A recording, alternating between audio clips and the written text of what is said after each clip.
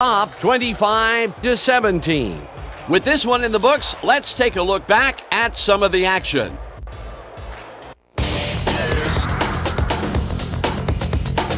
So, the ball game is over.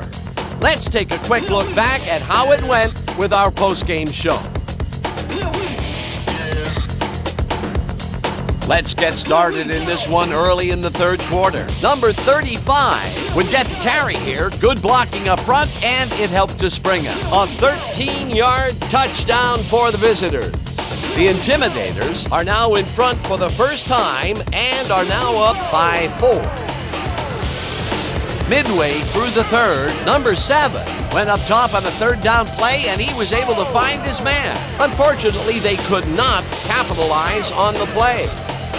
Towards the end of the third quarter, the Bulldogs, down by four.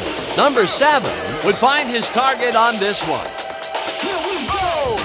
The Intimidators on D, number 35, shows some great awareness here as he gets himself into position to pick this one off. The Intimidators up 17 to 13. Number 22 would let his big old offensive line pave the way on this one. A 17 yard touchdown for the home team. The Bulldogs take their first lead in the half and go up by three. The Intimidators, still early in the fourth quarter, backed up against their own goal line. Sims would break through with a big play here as he shot through the line and was able to wrap his man up in the end zone for a safety. Midway through the fourth, the Bulldogs up by five. Number 22 got the carry as they stayed on the ground on third down, and he'd make it pay off.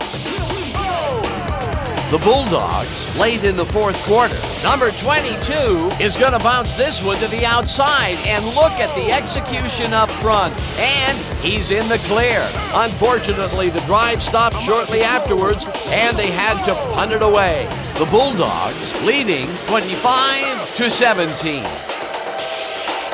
Number 35 would come up with the big play to kill a drive as he was able to step in front of a wayward pass for an INT. And that's how we'll round this one out. The Bulldogs edge out a win 25 to 17. Let's take a moment to recognize the 2K Sports player of the game. Number 22 turned in yet another legendary outing. Well, they put the game on his legs, Dan, and he managed to find his way through holes big and small all game en route to a big rushing performance. And that performance led his team to victory.